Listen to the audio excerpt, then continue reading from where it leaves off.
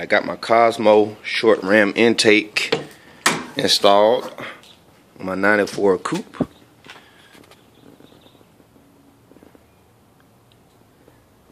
However, there was one piece,